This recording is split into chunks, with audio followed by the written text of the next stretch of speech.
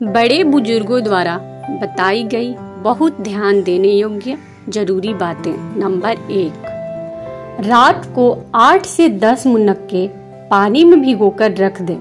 सुबह इनके बीज निकालकर अच्छे से चबाकर खाएँ। इस प्रयोग से शरीर में खून बढ़ने के साथ ही खून भी साफ़ होता है। नंबर दो, रोज़ाना सुबह एक कली लहसुन की खाएँ। इससे आपको हाई बीपी के साथ साथ शरीर की कई बीमारियाँ दूर हो जाएँगी। नंबर तीन, रात को सोने से पहले हरहर का मुरब्बा खाने से जोड़ों के दर्द में आराम मिलता है। नंबर चार, दही जमाने से पहले जिस बर्तन में आप दही जमाना चाहते हैं, उस बर्तन में फिटकीरी का थोड़ा सा चूर्ण लगा दें। इससे दही गाढ़ा जमता है और खट्टा भी नहीं होता है। नंबर पाँच अजवाइन के चूर्ण का आधा चम्मच दिन में तीन बार खाने से ठंड से आया बुखार उतर जाता है। नंबर छ मोटापा घटाने के लिए भोजन गेहूँ के आटे की जगह जौ के आटे की रोटी का प्रयोग करें। नंबर सात। सब्जियों पर चिपकी गंदगी और बैक्टीरिया साफ़ करने में फिटकीरी के पानी का उपयोग कर सकते हैं। नंबर आठ। सुबह खाली पेट अजवाइन का पानी पीने से पेट की सारी गंदगी साफ़ हो जाती है। नंबर नौ। भुने हुए चने खाने से शरीर में पूरा दिन ताकत बनी रहती है और यह दिमाग और आँखों के लिए बहुत ही फ़ायदेमंद होते हैं। नंबर दस। आटा गूंथते समय उसमें थोड़ी सी हल्दी और थोड़ा सा देसी घी ज़रूर मिलाना चाहिए। इससे रोटियाँ पौष्टिक बनती हैं और हमारी सेहत भी अच्छी रहती है। नंबर ग्यारह। काली मिर्च और मिश्री बराबर मात्रा में मिलाकर पीस लें और प्रतिदिन एक कप दूध के साथ दिन में दो बार सेवन करें। इससे दिमाग की कमज़ोरी दूर होती है और स्मरण शक्ति बढ़ती है। नंबर बारह। जब किसी को चोट लगती है या घाव होता है तो ज़ाहिर सी बात है कि उसे खून भी निकलता है। ऐसी परिस्थितियों में घाव को फिटकीरी के पानी से धो देना चाहिए और उसके ऊपर फिटकीरी का चूरन यानी कि पाउडर बनाकर लगाना चाहिए। ऐसा करने से चोट से बहने वाला खून बंद हो जाता है तथा राहत मिलती है। नंबर तेरह। जो बंदा दांतों पर आग की राख लगाता है, उसके दांत मोतियों की तरह चमकते हैं। नंबर चौदह। प्याज का पानी पीने से मैदा साफ़ हो जाता है। नंबर पंद्रह। अजवाइन को गर्म करके चेहरे पर मसलने से चेहरे के दाग धब्बे खत्म हो जाते हैं। नंबर सोलह। सेब खाने से फ़ौरन बाद पानी मत पिए, वरना गले का कैंसर हो सकता है। नंबर सत्रह। रात को सोने से पहले आधा चम्मच सूखा धनिया थोड़े से पानी में भिगो दें और सुबह उठकर इस पानी को छानकर पी लें। इससे पीरियड्स की सारी समस्या दूर होती है और पेट और कब्ज की समस्या भी दूर हो जाती है। नंबर 18 रात को टाइट कपड़े पहनकर ना सोएँ, बल्कि सादा और ढीले कपड़े पहनकर सोएँ। टाइट कपड़े पहनकर सोने से पेट दबा हुआ रहता है, इससे कब्ज की समस्या दूर नहीं होती है। नंबर 19 सुबह खाली पेट पानी में थोड़ा सा पुदीना डालकर पीने से चेहरे की झाइया और दाग धब्बे दूर हो जाते हैं।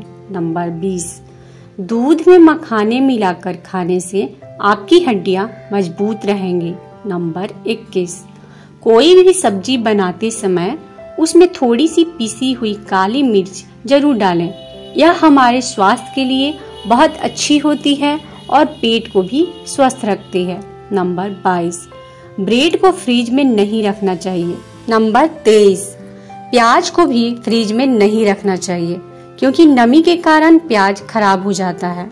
नंबर 24 सरसों के दानों को पीसकर शहद के साथ चाटने से कफ और खांसी समाप्त हो जाती है।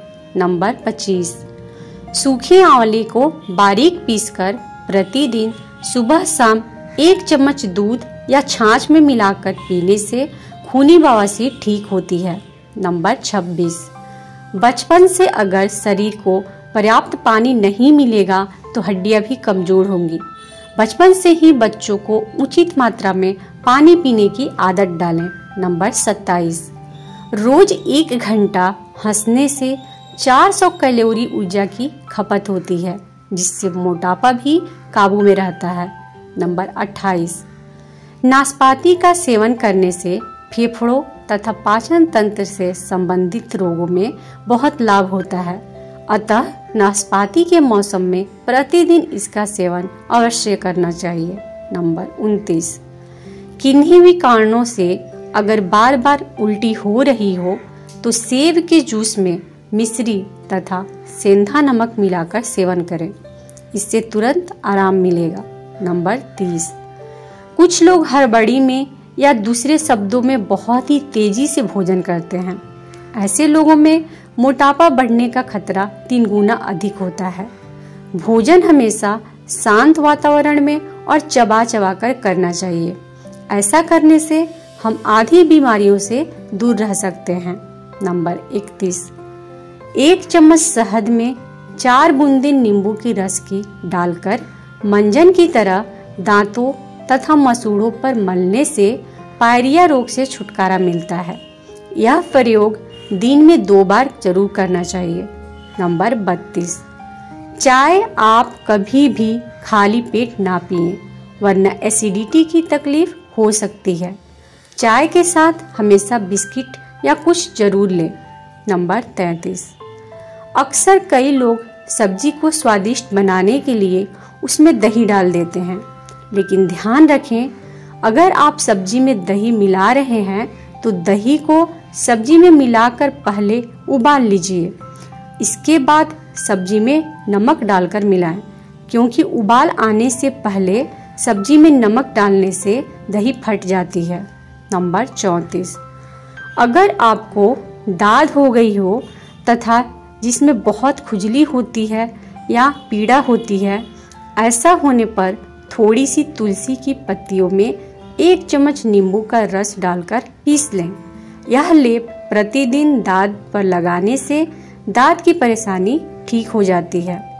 नंबर 35 घी में थोड़ा सा अजवाइन डालकर गर्म करने से घी में कोलेस्ट्रॉल की मात्रा घट जाती है।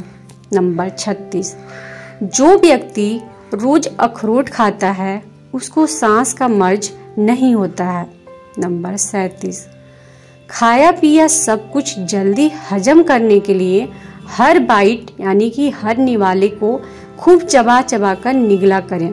इससे आपको ज़िंदगी भर कब्ज, बदहजमी और पेट की गैस की दिक्कत कभी नहीं होगी।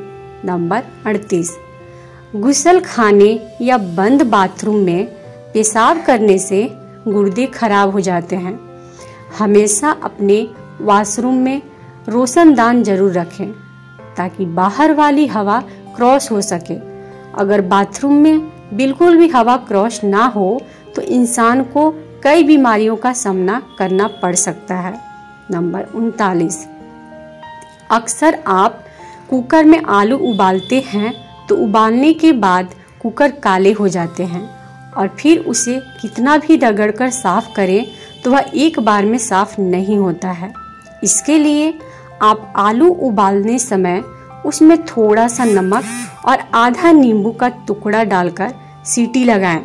इससे कुकर भी काला नहीं पड़ेगा और आलू का छिलका भी आसानी से निकल जाएगा नंबर 40 यदि आपको पसीना बहुत आता है तथा आप उसकी दुर्गंध से परेशान हैं तो सुबह शाम तीन ग्राम आंवले का पाउडर पानी के साथ अथवा 20 मिलीलीटर आंवला का रस सेवन करें।